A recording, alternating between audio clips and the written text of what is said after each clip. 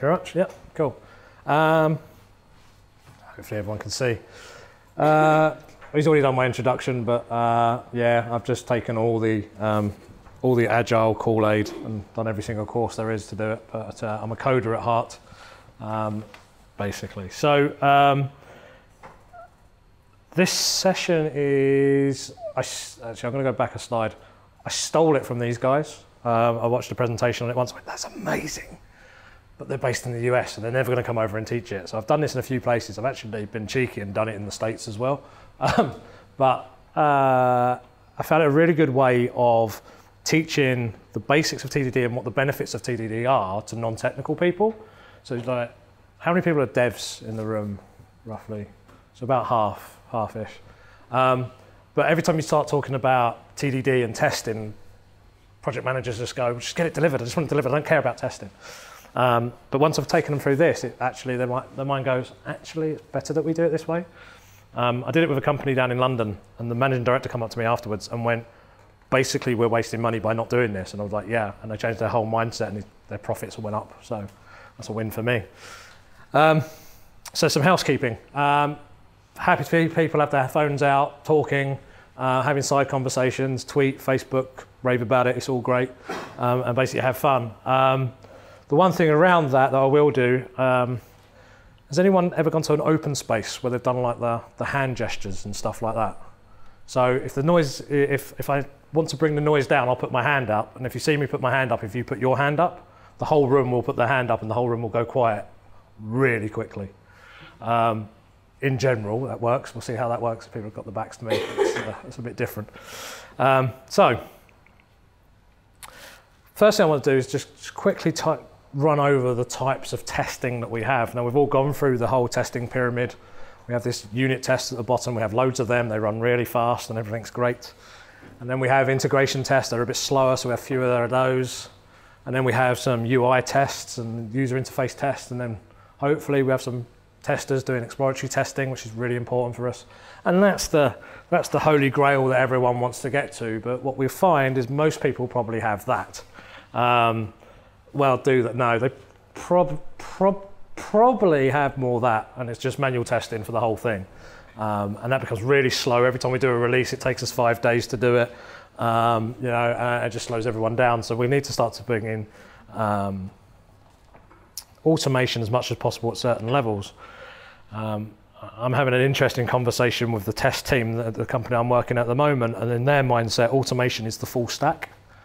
And it's like, yeah, that'd be really slow and brittle and horrible and things like that. And they're like, yeah, no, we need to do it. It's like, no, test at these different levels and we can actually make it faster and stuff. And I'm convincing them slowly, but it's all fun.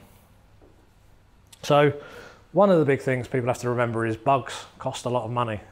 Um, and as we look at when we introduce the bugs, how, how quick we can actually get it. While we're building it, it's a lot cheaper than it is post-release and during testing. So this is the area we're looking at is design and building it is where we're going to actually find the bug, um, you know, during those periods. So hopefully doing TDD will, will, will, help us.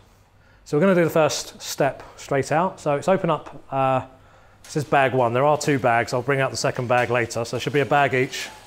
Um, and what I'd like you to do is build a person and a house out of Lego. Um, there are some orange longy things that will help you take them apart if some of the bits are all stuck together. Um,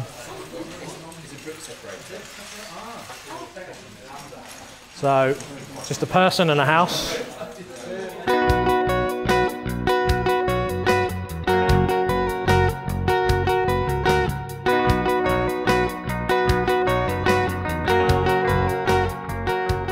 So 30 seconds. So I'm, I'm, doing business time now, so 30 seconds, 10 seconds. Right, done. Right, okay, so who hasn't, who hasn't, who's only got a person or only got a house? Who's only got one? So there's a couple of people only with one. Well, from that point of view, you've not met our requirements. Um, you've wasted most of our time on stuff, but thank you anyway. Who used all their pieces to build their person in house? Right, well, you're the people who have spent six months developing something really simple and used every single tool in the book and cost me an absolute fortune, and all I wanted was a person and a house. And that generally is what happens. So um, admire your work, take a picture, because we will take them apart. So if you, if you want to have a uh, thing around it, yeah, please take a picture and admire your work. So in the TDD space, there are two books that I 150% recommend to anyone. The first one is Test Driven Development by Example by Kent Beck. We've all heard Kent Beck talk around XP and different fun things. And we've got Growing Object Orientated Software Guided by a Test, also known as the Goose Book. Um, Seb Rose, who spoke here before, he's, he's talks about this book in one of his sessions and he Googles it and all the different books you can get that come up as Goose quite funny. Um, so Steve Freeman and Nat Pryce both are uh, based in London, both freelancers, um, always updating their blogs and coming up with some really great stuff. Um, and out of the two, test-driven development by example is the Chicago School of Chicago? Chicago School of Thought, and this is the London School of Thought. One's mockist and one isn't. Um, so uh, as far as I remember, growing object oriented is about mocking things out and fake it before you make it and all that sort of groovy stuff. And uh, ports and adapters, really cool sort of ideas to go through.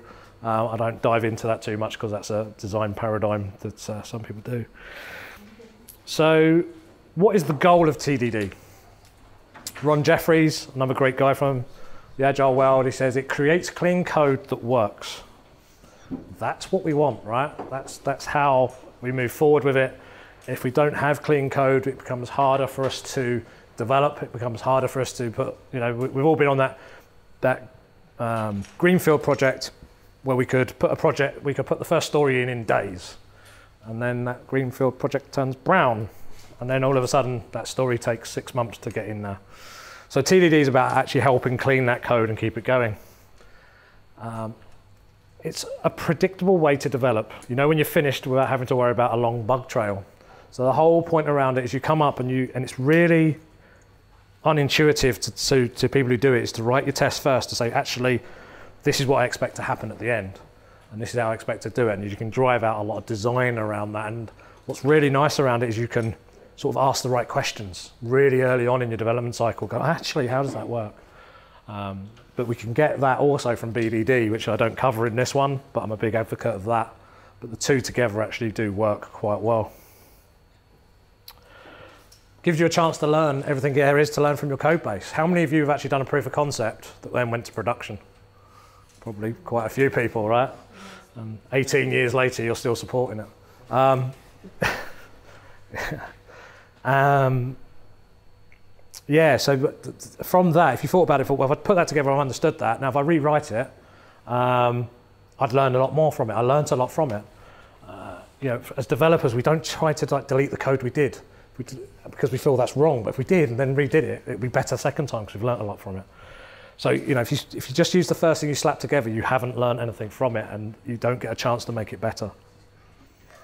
Um, it also improves the lives of, uh, of the users of your software because because you're making this really solid piece of code uh, work for everyone. And you know it's going to be solid so every release this, these TDD these tests run really fast. That's the whole point. At the bottom of that that pyramid is about having fast executional tests. So you should be able to do a commit. They all run. They all pass. Everyone's happy. You know you haven't broken anything. And because of that your teammates can count on you and you can count on them because every time they do a commit, these tests run really fast and make everybody happy. And after a while, it does feel good to write it. It really does. Um, from a point of view, I've worked with a few developers that are really into this now and they can't write code any other way. If I said to them, can you just knock that up? No, I need tests. And that's really good. That's really cool sort of way of thinking because they actually learn a lot from what they're doing and find mistakes with it. So um, there's the red-green refactor. And these are really important, and, and, and the refactor piece is the most important piece for it, for my, in my opinion. Um, and that's what we need to have clean, good code. So having red uh, means we've written a small test that shows our code doesn't work. So as soon as we haven't written any code, so we write a test for it, and it's going to fail straight away. And the next thing we do is do the simplest, and it's really important, it's the simplest thing to make it pass. So if your test is to say, call this function with this variable should return true, then the quickest way you can make that pass is by having that function return true and nothing else. Because your next test will then say make it say false in this scenario, and then you can start to build it, do the simplest thing with it, and keep it moving that way. Because you're doing the very simplest thing you can do. Then once it's gone, um, it's gone green. We we do the minimum work again. We get to refactor it. We'll look at it, get any, we eliminate any duplication. We ensure that the code has clarity, that we haven't named the variable DOB when we could have just used date of birth. Or, uh, yeah, and is it the simplest it could be? Have we gone too far? So this is a really important piece around it. So we write a failing test, we make the test pass, and we refactor. And having the refactor piece is what keeps our code extremely clean. And we can also refactor our tests because we may find as we move forward that that's what happens. Um, you can never trust a test that you've never seen fail. If you, if you write a test and it goes green straight away, there is something wrong. So you have to then go and change the test to make it actually fail so you know it's testing the right thing. It could be because you've already got another test that does it in a different way, or that feature's there. So therefore, have you got two tests doing the same thing? Is it a byproduct of your system? Should it have actually been doing that? There's different uh, schools of thought around that. Um, and sometimes to help make these tests cleaner, you can create helper functions that may do a lot of the, the grunt work for you. Um, because your tests should be, um, you should give the test code the same respect you give your production code because it's a main part. Once you're, uh, I've seen it in a lot of places where tests, test code hasn't been given the right respect and it ends up being a ball of mud and no one wants to support it and then no one starts running them and then they start breaking and then you lose all that goodness. Um, I remember someone telling me once that the, if you have this mindset around testing at all the levels, that the byproduct of those tests is the product your customer wants. So if you run it, you know that's what your customer wants because you're, you're driving them off their requirements. It's quite a different way of thinking about it. So few quotes from different people that I can't remember who said them, but basically, uh, you won't stay, stay agile without clean code. You can't have clean code without refactoring, and you can't refactor without good automated tests. So when someone says, I'm going to go and refactor, and there's no tests, they can't be refactoring. They're just causing a massive risk to your project in a massive way, because it's only the test that will tell you that it still works. Because the whole point of it is you have this contract, if you like, an API contract around that piece of code that you're changing, and anything else that talks to it needs to talk to it in the same way, and the internals of it are what you're making better, and you're refactoring those. And that's really quite powerful for um, moving forward with it. So, we're now going to do TDD with the same process of build a person and build a house. So, we're going to clear the area in front of you. And um, in this respect, so say you've got a clean area in front of you and it's your program, right? It's the, it's the best program there is. It's fast. It doesn't do anything, but it's fast. There's no bugs. It's great. So um, we're going to now write our first test. So our first test is going to be, does the person exist? The answer is no. So yay, we've got a test, our first failing test. So what we're going to do is we can add a block. If we add one single block, that can be a person. So as far as we want, that is one person. So the person now exists. Our test is now passing. It's not impressive, but it's enough to represent what we want. And we've got it passing, so we're, we're, now rocking on. So once we've got a red test, what's the next thing? Well, we've got a red test, we've had a red test, we've got a green test, what's the next thing? Right. Probably not lot to refactor at this point, um, but we've got to keep it in there. Is there something I could do? So if you're looking at it, this is the interesting piece. Now if I look at this and go, okay, see yours, right. So here's a great one from Martin, don't mean to pick on you, mate. But uh, if every one of those little knobbles on top is a thousand pounds, you've been more expensive than this man right? You've just cost me £8,000, he's cost me two. I want to see if anyone's cost me one. Yes, there's a one there, right? So that's as simple as it is. Can we make it simple? Um, and just keep that in mind that everyone in noggles is actually going to cost you a thousand bucks. Let's see who does the cheapest. Uh... Oh, and if they're flat, if they're flat, they're still going to be a thousand. So, um, Cool. So, you know, in this case, we're, we're all good. So now we're going to do the same thing for the house. So, is there a house? No. So, what do we do now? I'm going to add a block. So now we have a house. We have a person and we have a house.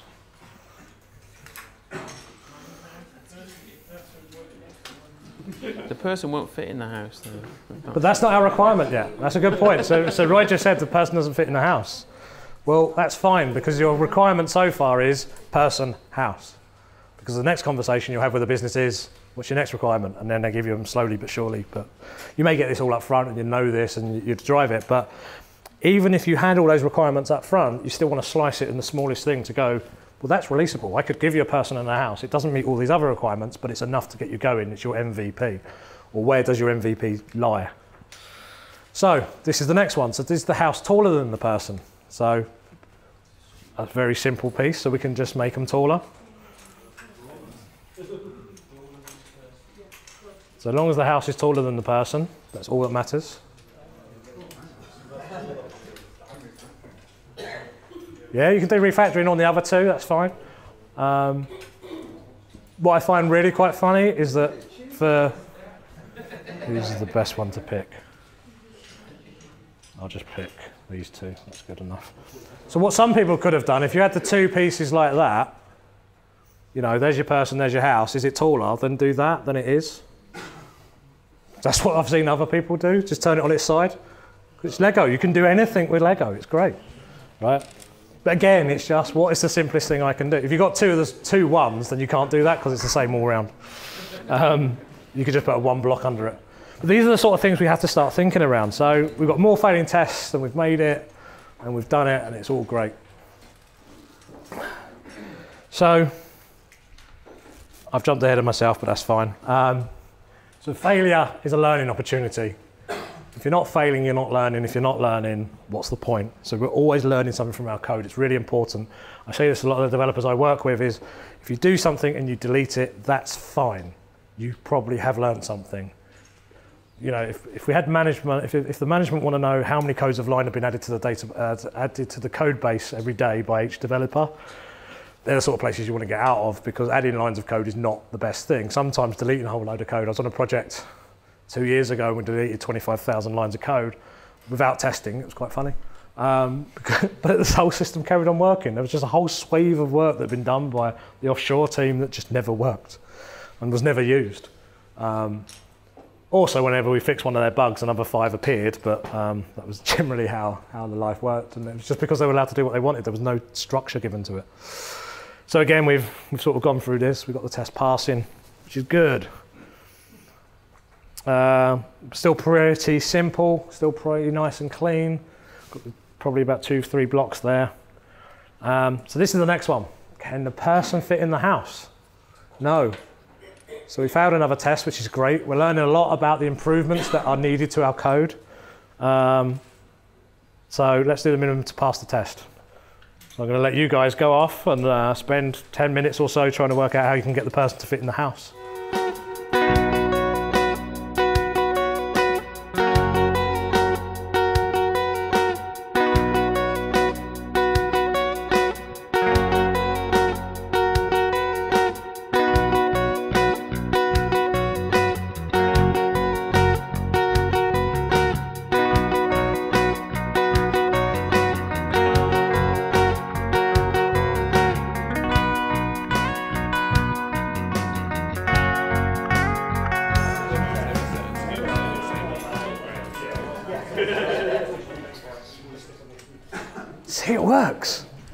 Absolutely amazing. Although the table over here didn't even notice it at all, but they, they were quiet anyway. So,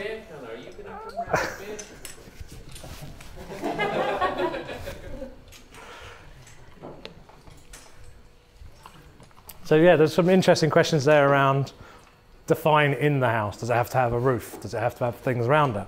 And I was just saying, I have to move into the next piece. Um, that that for me would be where you go back to the customer and ask them what their questions are around that. And then I think that's for me is where the BDD side of things sits outside.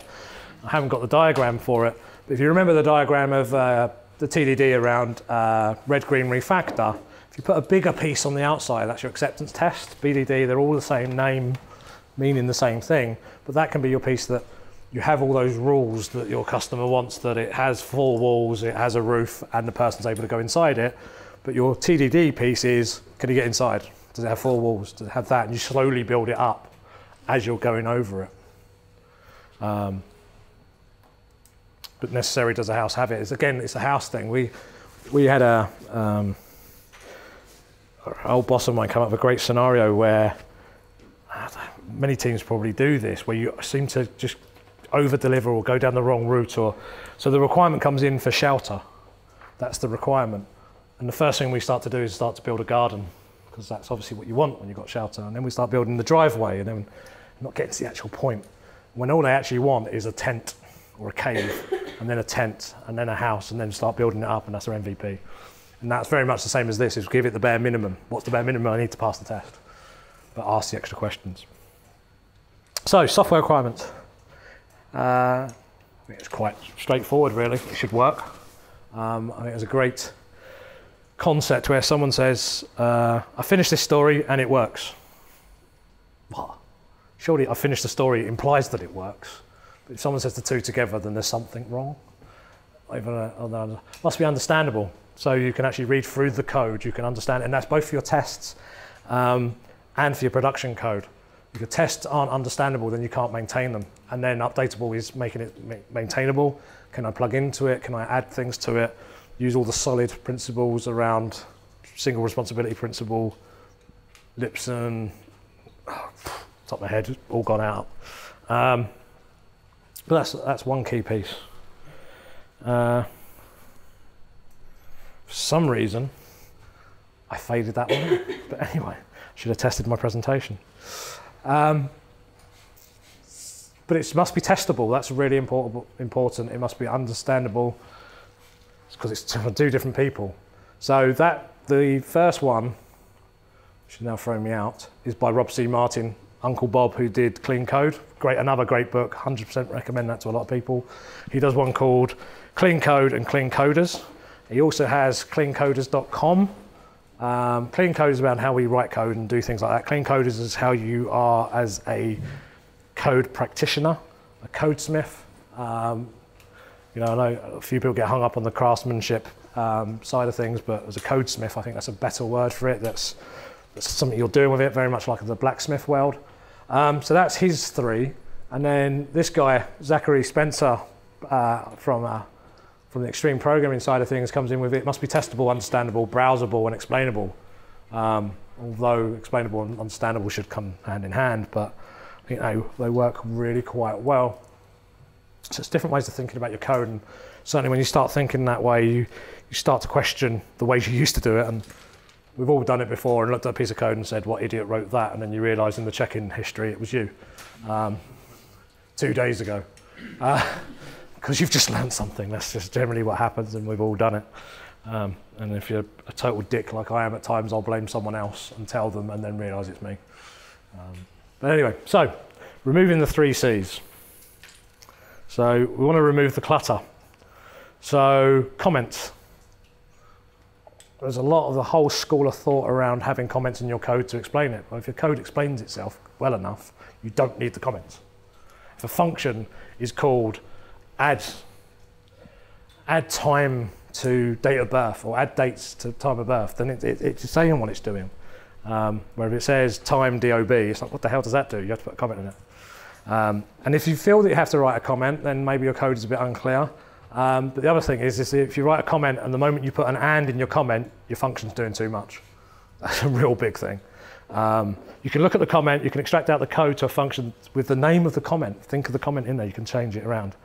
Um, the other thing is, and we've all seen it, is that comments don't get deleted because people feel that they're important, but the code that they relate to does get deleted or does get moved. Comment here, function here, load of stuff here, they don't relate anymore, it's all lies. Um, remove the complexity.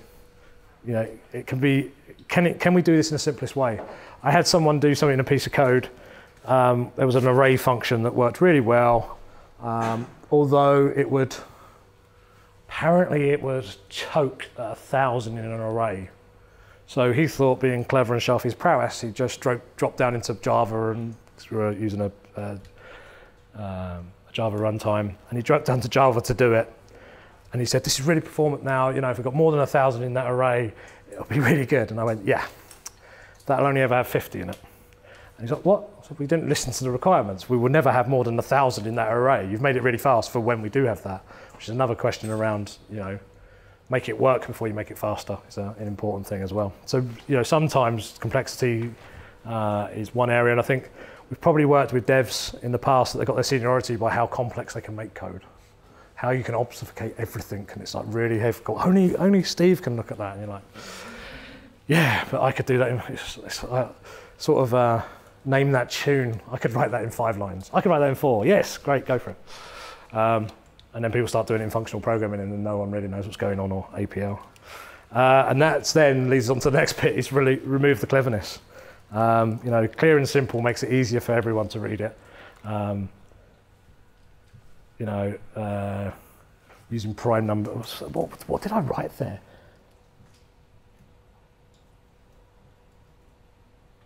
Oh, I did this bitwise and used prime numbers and then blah, blah, blah, blah, blah. You know, you're not going to understand it in six in six months' time. So it's about really taking your, your, uh, your cleverness out. So now we've removed the, free, uh, the, the three C's. Now we're going to remove the three D's. Duplication, duplication, and duplication. So we don't want to repeat ourselves. We certainly don't want to do, uh, so the dry principle, don't repeat yourself. We also probably don't want to do wet, which is write every time.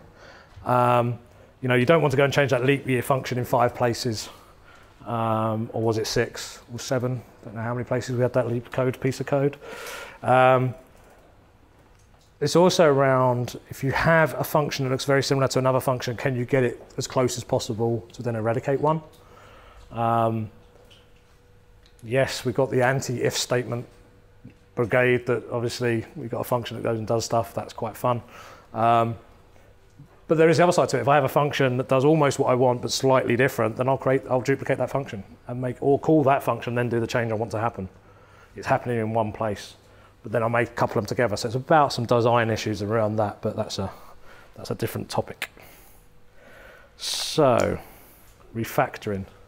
So refactoring is the process of changing a software system in such a way that it does not alter the external behavior of the code uh, and improves the internal structure. Spelling mistake, as usual. Right, so there is a second bag for everyone. So if I can give a handful here, if you could pass them backwards as well. I'm hoping there's going to be enough. There should be enough for everyone.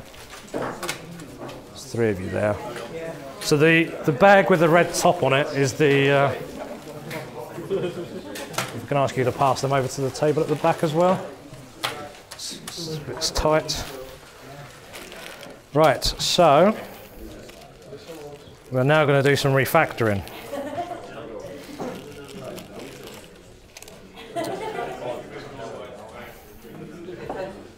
So our refactoring piece is with bag two, and what we're going to do with this is we're going to use the two by one bricks, so these bricks, not the plates, and now we're going to build them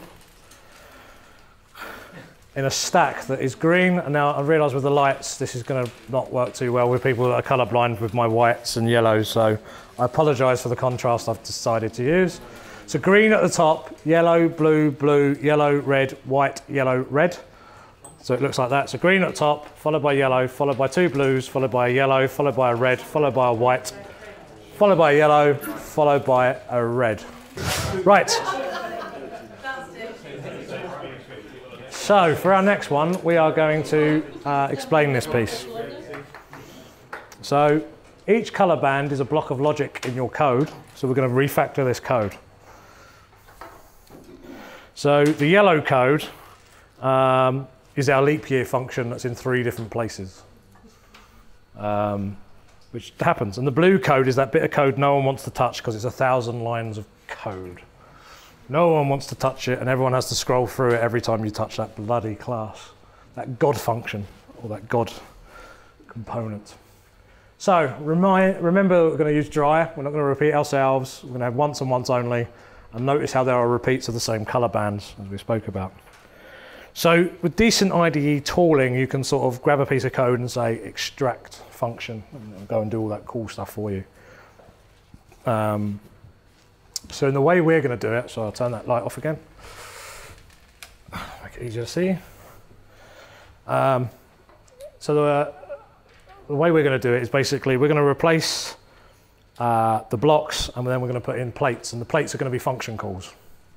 So the block of code is somewhere else. So we're to, what we're going to do is we're going to replace the first big yellow brick with a small yellow plate and then place the yellow block to the bottom. So in this first refactor, it should look something like this. So we're going to take, we'll take that green, take that yellow one out, we'll stick it to the bottom, and then we'll put that plate in place of it, and then it should look like that. So our code's got a little bit more complicated at this point in time. Yeah, all good, all good, all good.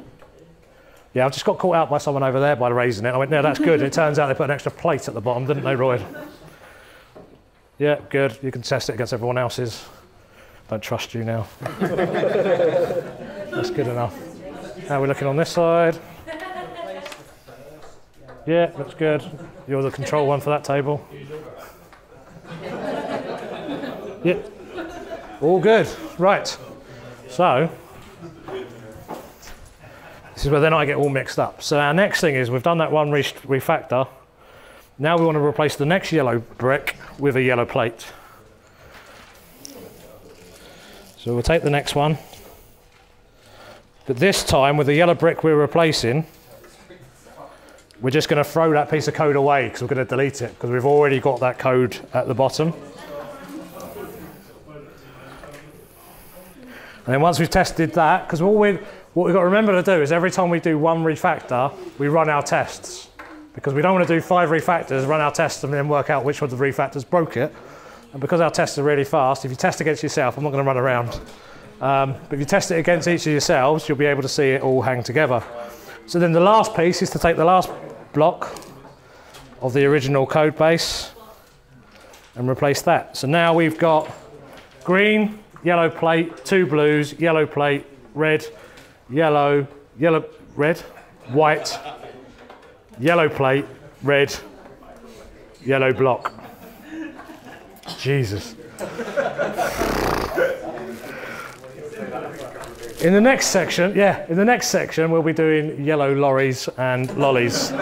Um, so now, just because that's the important piece around this, is that we're running the test every time we do it. We check it against each other, and if someone else is wrong, and if there's three or four of you on a table and one person's got it wrong, you're going to spot that one person that's different.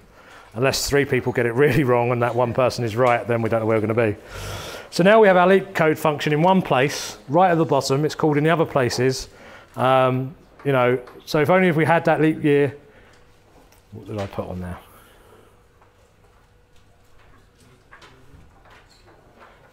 That was it.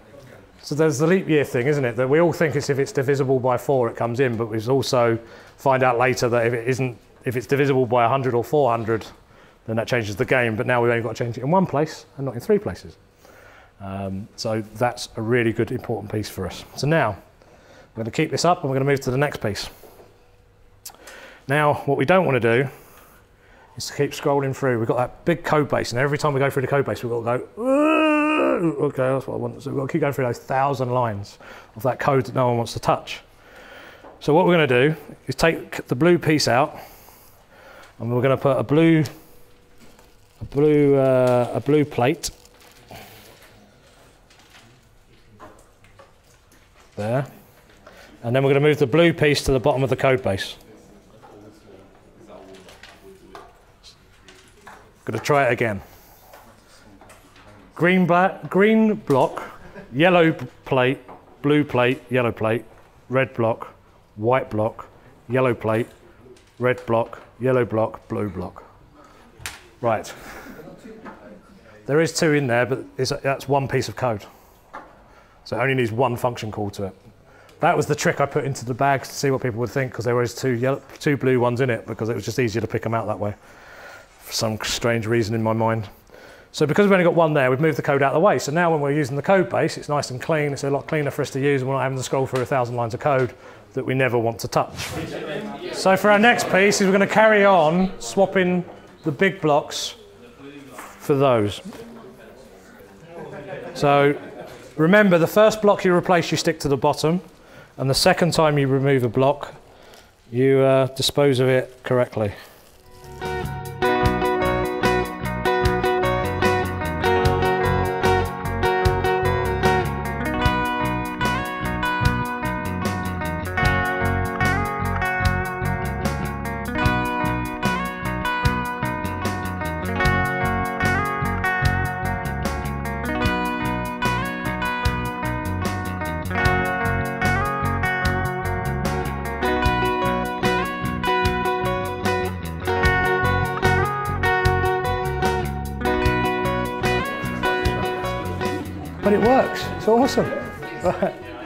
Okay, so um, I actually jumped ahead on a few people on this and said readability. So let's extract the green and white. And some people are asking why, and then I realised I've jumped ahead. Um, we have it there so we can actually read our code. So at the moment, we've just got all these functions sitting there um, hanging around. We've got these code blocks. So it just allows us to start to look at it. And if we put the code in the way they're ordered, it means that when we come to look at the function, they're in the order we're being called in, so we can actually get a bit of readability and see what happens. We still need the actual call because we're making calls to it, um, but it actually makes the code easier to read, and obviously we should keep on testing. So I'm hoping most people have got that far um, in a roundabout way from me jumping ahead. So, lights are still off, that's good. So clarity, you know, remember some of the requirements for good software. It needs to be easy to read and update. Um, so one of the things we can do is rearrange the blocks so that they're in the same color order. So we get green, yellow, blue, red and white blocks at the bottom because that's the order they're called in. It makes it easier to do. Um, we can also split things off. So we may then decide, okay, um, the green uh, and the yellow, they're date functions. So we'll have that in another class. And then this horrible piece of blue code we'll stick off somewhere else. And now all of a sudden, when we come to edit this this app that we're doing, we're only having to go through little pieces of code and we can test those individually and separately rather than test them everywhere else. So already part of the refactoring piece is that as we're testing it, we get to see that we've got a nice simple code base that has different classes. So it's a way of splitting a God class or a, a God component or whatever out to multiple pieces. And then the interesting piece that we had in there about why is that so big, why don't we refactor this, is then that can be another story. And how you go about refactoring, that's a different thing. But maybe you'll break that out into separate functions that things can call and make it easier. Um, but yeah, that horrible blue code that no one wants to touch. Right. So we're at the hour mark about now. Um, and we're going to move into a different section for this. Okay, so this next piece is uh, to work, each table will work together, but then we'll split off into pairs inside the tables if that works. If it doesn't, then stay as a three um, or an odd number, that's fine. Um, just wanted to highlight the bit there about pair programming, mob programming, because mob programs all the hips, hipsters do these days. Um, I spoke about this in some of my other presentations, but it's about having all the right people in the right place at the right time. Um, so you would have your testers, your developers, product owner, all in the same room, looking at a projector with four keyboards or how many you need, and people swapping keyboards the whole time. It's just pair programming on steroids guy called Woody Zuill, who's in town right now because he's obviously at Manchester and uh, he's at uh, XP 2016. Um, he's sort of coined this and he says his team becomes 10 times faster because your decisions aren't happy. You're not going, oh, I have to get a tester to test that, or I have to go and ask the DBA what the question is. If the whole team is there and they make the decision there and then. But he's got no real metrics on it, he says, because he didn't keep track of them, but it's quite a cool way of doing it. Now, I've got a note to myself on here about having a control group. Um, I don't believe this will ever happen in the way that it happened the first time, but I'll explain that later. So, was there a team of developers somewhere that were all sitting together that have sort of done TDD before or have an understanding of it? All right, so I'll let it be you guys. You're my control group. So, as a control group, as a control group, you don't have to write any tests. You can go sit on the other table. right, so for that, you're obviously going to need some more bricks. We're going to make it nice and difficult. Why not? The rocket ship would be awesome. Uh, now we're going to the black part. That's just like it. Right, okay. So, unfortunately, the, the original one of this was that sort of topic, but it's not. Uh, unfortunately, I can't help you there. So, what we're going to do is we're going to do the Lego Sim Town. So, our user story is in order to have a town to run, the mayor requires a small town comprised of a family, a house, a tree, an animal, and a vehicle. One person in the team as well can be the product owner, so they can decide what the questions are rather than everyone shout out all the different questions. That's fine. So, each table create their own sim town, um, and as a table, you work in pairs to create each element of the larger town. So there's four, of five, six of you at a table. There'll be three pairs working together. But as a team, you say, well, can you create the family? Can you create the tree? Can you fill this? Um, decide who wants to be each of the elements. Work in pairs, write down, a, and we're going to do tests. So there are pa- paper and pens.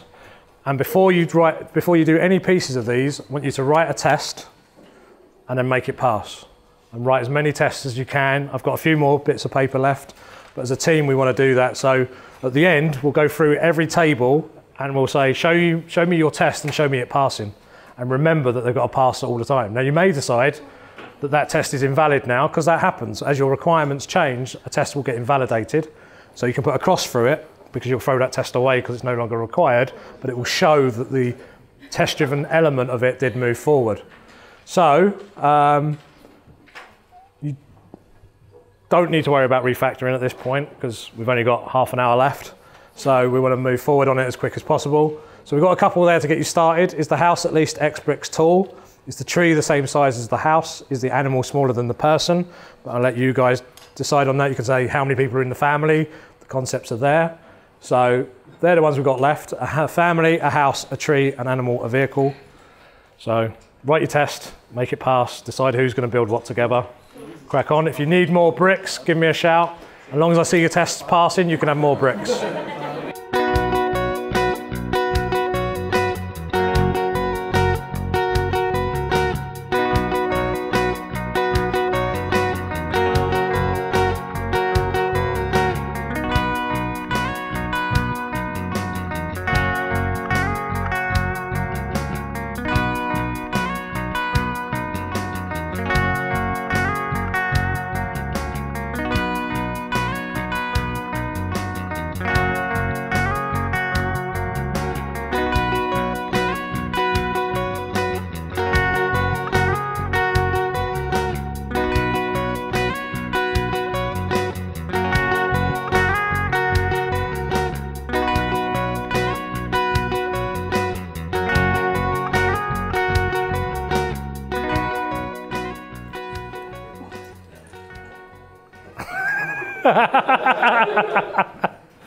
awesome. Right, so we're gonna have a bit of a. My machine decided to break on me. Demo time. It's hammer, hammer time. Right, so the non-control group. I'm gonna do you first because this sounds quite good. So with these guys, we said don't write any tests. I think theirs are more simpler than some of the others, but this may be a kick in the face. So we needed, go back one, we needed a family. Where's your family? So can we hold them up so people can see them? That'd be great. There we go. Lovely. Baby on the arm. Yeah, they had no tests, so they didn't need to worry about uh, features. Uh, a house. Look at that house. It has windows. Qualifies it as a house. A tree. So we've got two trees. Didn't ask for that, but thank you. Uh, thanks for spending more of the customer's money. Uh, an, an animal. Crocodile. Crocodile. Lovely. I think that I think that actually came from the crocodile set, so it's good. Good work. Um, and a vehicle. Uh, so we've got a rocket and some astronauts. Oh no, the rocket's broken. and we- we have astronauts in our land. Yeah. That's- that's- astronaut. Ah, that's pure brilliant. Right, I'm going to start from the dealer's left. Right, so with you guys, I'd like you to read out your test and show that it's still passing. Right, so we've got the vehicle must fit three people. So we've got the vehicle. three little people. Uh, Not securely, but that's fine. we've got, we've got the house, we've got the vehicle must fit in the garage. It's the garage. Uh, we've got our the tree must be taller than the house. Just taller It was just taller, that's fine. Um, we're on the other belt. So we just read through. Is it? Uh, what the What does the family, what's the rules for the family? family has three people. Yeah, and the child must wear a hat. Yeah. And the rules for the animal. The animal must have four legs. The animal must be a giraffe. the animal must be taller than the tree. The animal must have a baby animal. And the baby animal must be smaller than the, the adult animal. Fair enough. Still could have been simpler, but we're not doing refactoring. That's fine. Right, this group. Who's going to kick us off?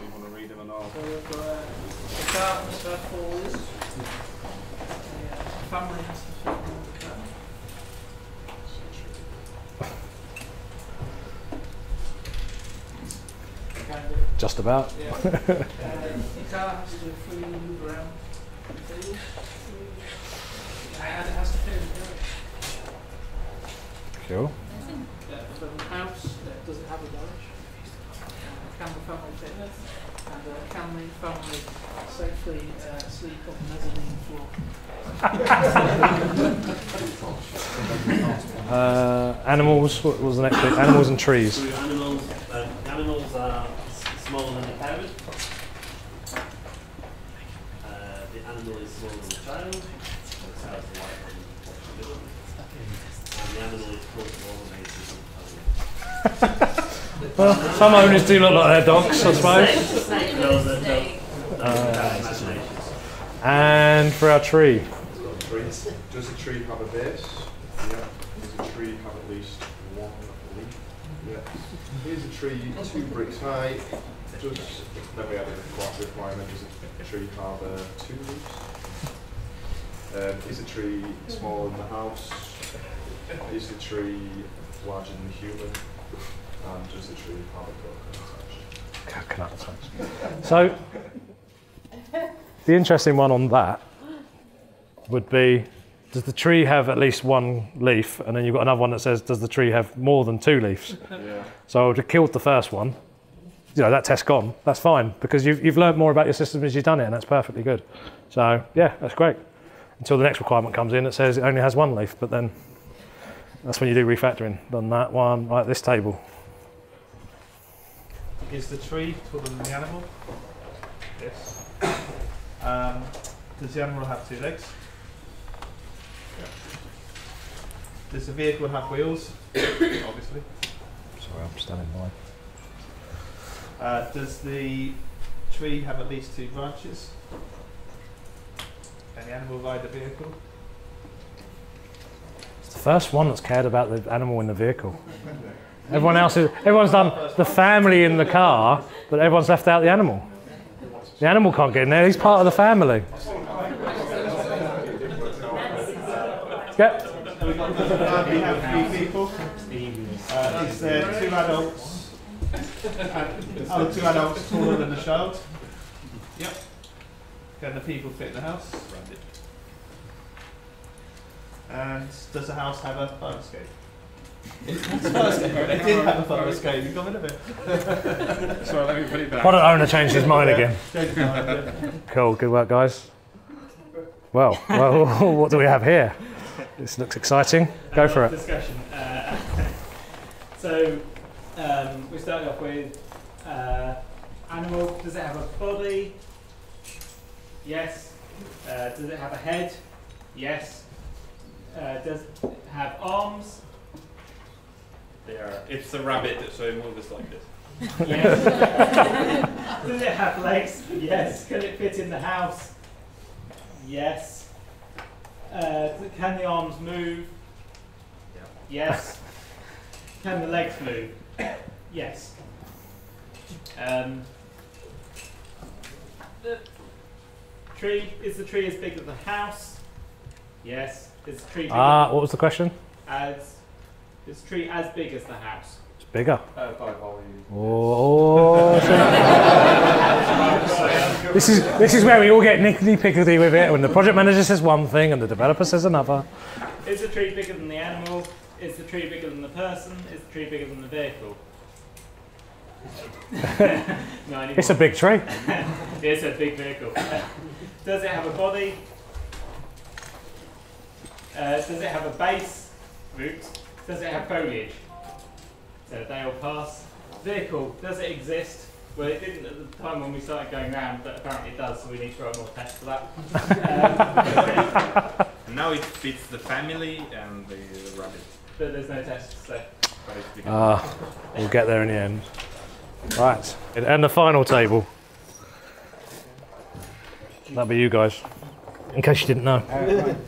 uh, the vehicle, uh, family should fit in the vehicle. Family sitting in the vehicle. Yeah. Uh, does it run on snow? uh, we also had another requirement, all the same colour. But after talking to the product owner and giving them Amazon delivery times for their guys, um, no, we uh, we um, we Undid that requirement. Uh, and, uh, And the tree, so uh, is the tree bigger than the vehicle? Yes. Is the tree smaller than the house? Yes. is the top of the tree wider than the base? Yes. Good work. Fair enough. Uh, we got the uh, dog somewhere? Yeah. Yep, the uh, dog has a full Dalmatian here. So it'll agree. It's definitely smaller than the person and can use the house. So it's we fit in there quite happily. That was all we had for the animal. Cool. So our family, we weren't quite so nuclear with it. All we required was greater than one, so greater than zero parents and greater than zero children, and that would make us eight. So that's four enough. Uh, they have to be the same colour, and the parent has to be bigger than the child. Actually, saying that now, yes. There's not much diversity.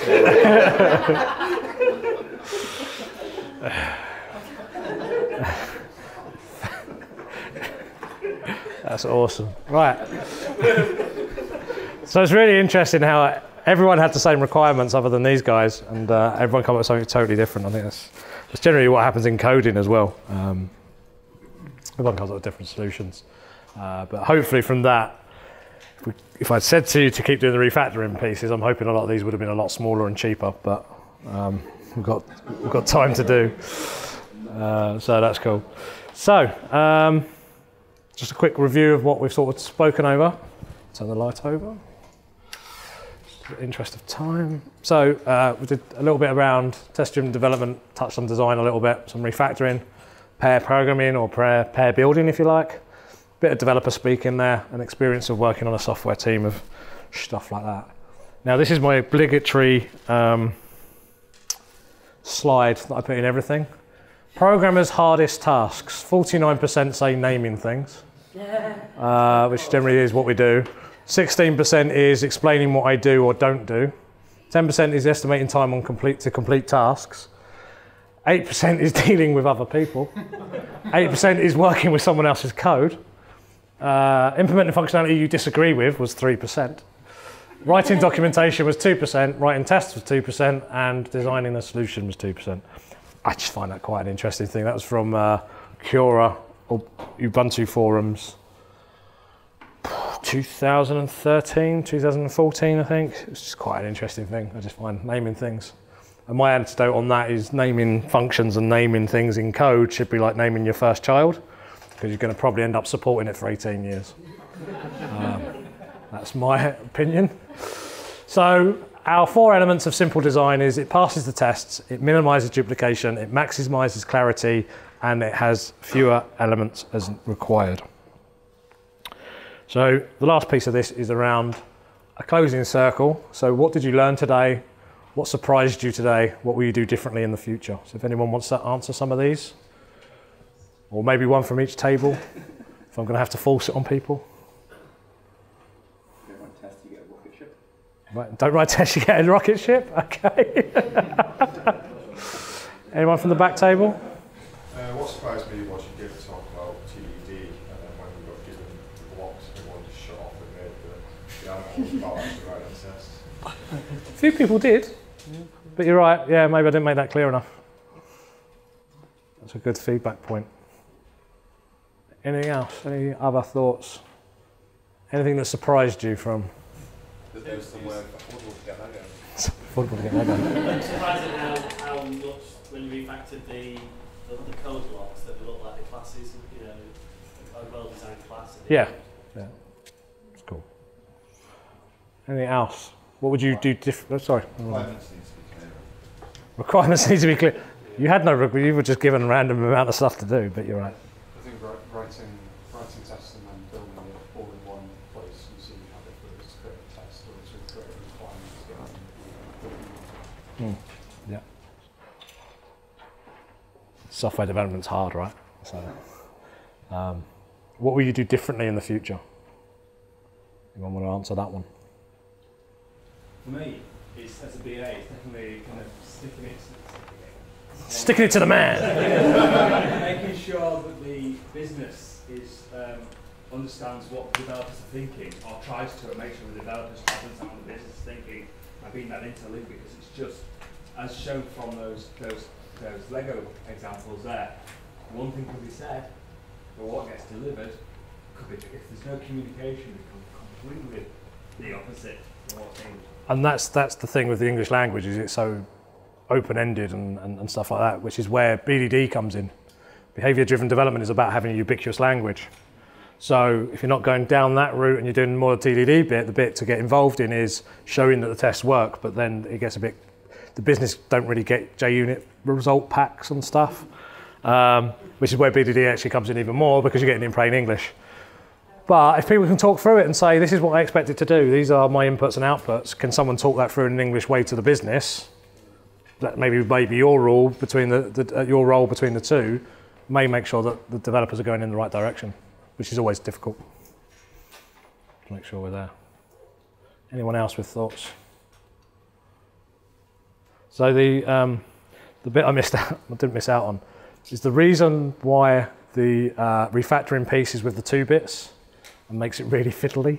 It's because that's how hard code is. So there is elements that cross over. So uh, thank you very much. Hopefully you got stuff out of this. Um, what I will do with my slide deck is I will publish it. Make sure uh, Roy puts it up on the on uh, the blog. I will put the link to BrickLink in it and the guy that I use because he's great. He sends me stuff really quick. Uh, and also what you need to order if you want to make your own packs. Um, sometimes I've said take the packs away, but as, as I was having discussions with Roy around it, it's like, how many people have booked in? 50. So I now need to make 50 packs. There was originally 100 of each of the packs, and now I've ended up with like less than 50, and I've already made 50 again. Um, but yeah, I can give you the list that you want to get, and if you want to do it in your own place, take the slide deck, um, or indeed ask me to come along, and I'll happily help people uh, do this in their own place. Because sometimes in, in your own environment, if you try to teach your own team, they ignore you. Someone external comes in, it can be useful. Um, and we've, like, we've done it in an hour and a half, two hours. Uh, so it's a pretty cheap session. Cool. Well, thank you. Uh, any discussion points that people outside of the three that I asked? Conscious of time. No. Cool. Well, again, thank you very much, everyone, and uh, take care.